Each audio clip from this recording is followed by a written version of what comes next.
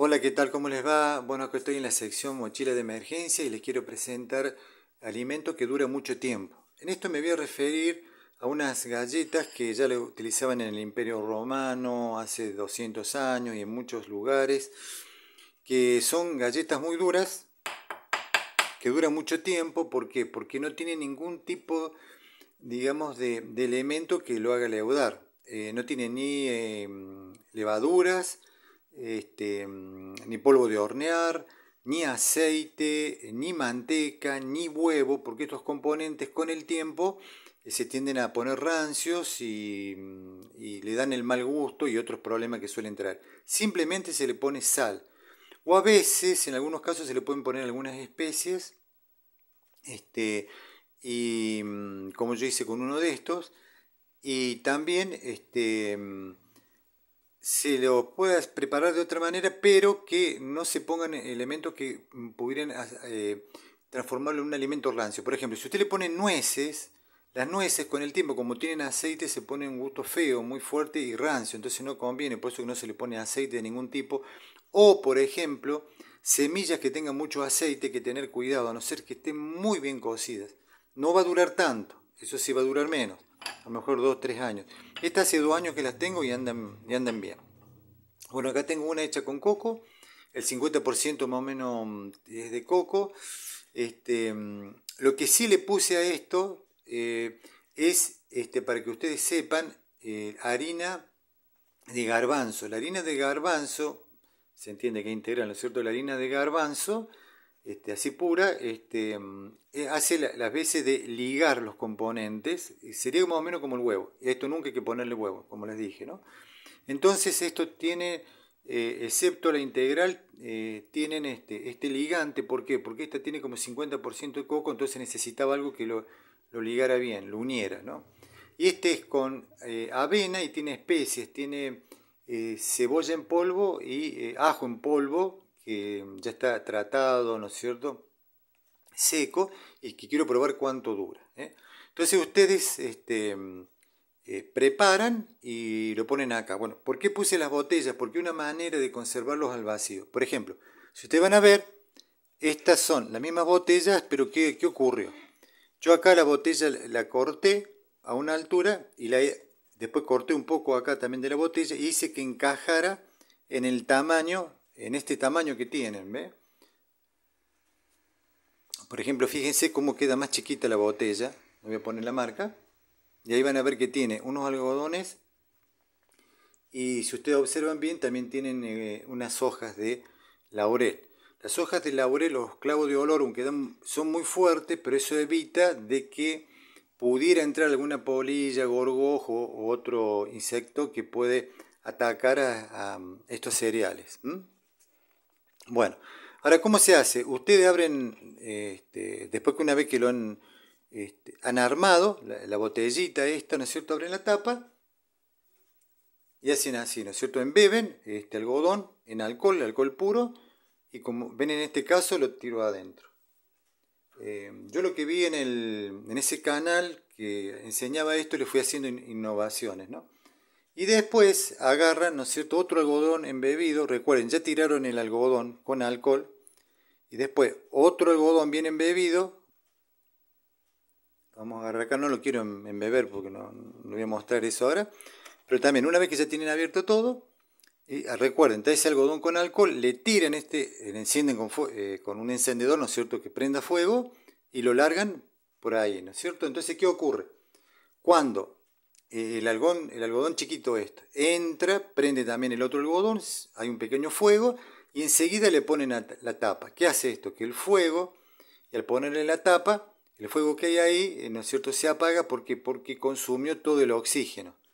Entonces ustedes van a notar que la botella, por ejemplo, ahí les voy a mostrar esta, eh, a veces se empieza como a arrugar la botella. ¿eh? Se empieza a ver, fíjense el formato que tiene. Arrugar, ¿por qué? Porque mm, eh, eh, al hacer el vacío, y como es el, el PET es un material muy finito, se achicó, digamos así, ¿no es cierto? Se contrajo. ¿eh? Entonces esto permite, junto con el clavo de olor que puede tener hojas de laurel, que no haya oxígeno para que prolifere, como decía, algún insecto o algún huevito que haya puesto alguna polilla este, y que ingrese ahí. Por eso que cuando ustedes hacen la galletita, tienen que, eh, al horno, tienen que cocinarla bien, bien, bien, que quede bien cocinado para que no haya eh, ningún este, huevito, porque a veces sabe venir en el cereal. Ahora, le cuento. Yo esto lo tenía en una botella que lo saqué hace dos años y tenía dos o tres este, gusanitos de una polilla que ya estaba muerta, ¿no? Y bueno, esos gusanitos estaban vivos, pero eran, ¿qué problema? Agarré, lo puse otra vez en el horno cuando estaba haciendo esta y, y se liquidó todo. Otra vez, había tres también, no era, no era mucho. Pero cada tanto hay que vigilarlo. Otra razón por qué hay que cocinarlas bien es porque no tiene que haber humedad. Ustedes cada tanto la tienen que vigilar, lo ideal es que esté al oscuro siempre, porque para que no crezca el moho o si no mm, este, humedad y eso altere todo. ¿eh? O sea, ustedes la tienen que observar bien. A mí ya me pasó una vez que mm, una de estas se me llenó de, hongo y tuve que descubrir por qué era y era porque no había eh, cocinado bien al horno una de las galletitas, porque uno va cometiendo errores. Pero lo que hay que tener más cuidado, le digo, es con los insectos. Miren, a veces pasan, yo lo comenté en otro video cuando hablo del zampa, hace tiempo, que eh, es increíble, no sabemos cómo pasa que eh, a lo mejor la polilla en el cereal, ya en el cereal que viene, ha metido un huevito muy chiquito y uno a lo mejor lo, hornea y no se muere. Es una cosa muy, muy extraña porque a mí me ha pasado que en una botella que estaba bien horneado y todo, este, eh, había una polilla y crecieron unas, este, unos gusanitos, pero estaba todo perfectamente cerrado porque esto no lo pueden atravesar las polillas. ¿eh? Este, así que bueno, fíjense en esos detalles para que no críen eh, ningún eh, insecto o bichito, ¿no es cierto?